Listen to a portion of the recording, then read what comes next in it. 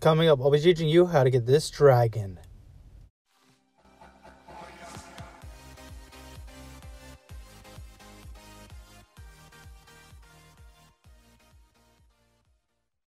Hey guys, it's G-Man here back again in a Dragonvale guy video. Today we're teaching you how to get the new dragon that just came to Dragonvale to Dragonvale. So I almost said Dragonvale World for a second there.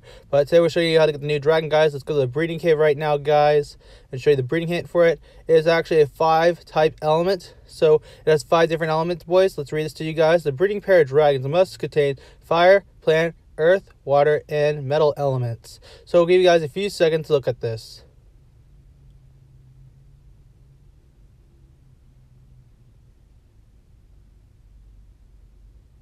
Okay, guys, so now let's get started on showing you guys the new dragon and stuff like that. I do have the dragon already, guys. And if you are wondering what dragons I use, I use these two dragons right here to get the dragon. So, yeah. Okay, let's hatch that dragon, though. So this is the new dragon, guys. Pretty excited about this. It's got a cool egg design. It's a really cool dragon, bros. And yeah, it's a pretty awesome dragon, broskies. It's an awesome dragon, guys. I really do love this dragon. I think this is the 500th dragon in Dragonvale, if I'm not mistaken, but I could be wrong about that. So don't take my word for it. But we got 500,000 gold and 500,000 XP from that. So that's pretty awesome.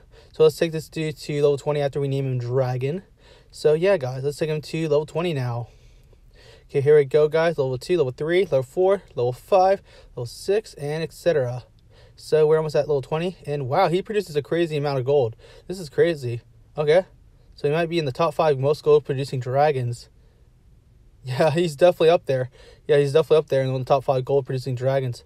But uh, yeah, this is a new dragon, guys. If you did enjoy the new video, though, make sure to smash that like button. Stay tuned for more of my videos, broskies, and hope to see you guys next time. G-Man, out. Hey guys, if you did enjoy the video today, make sure to smash that like button. Stay tuned for more of my videos, broskies. If you do want to subscribe to the channel, that would be awesome. Make sure to dragon punch that subscribe button. I'll see you guys in the next one. G-Man, out.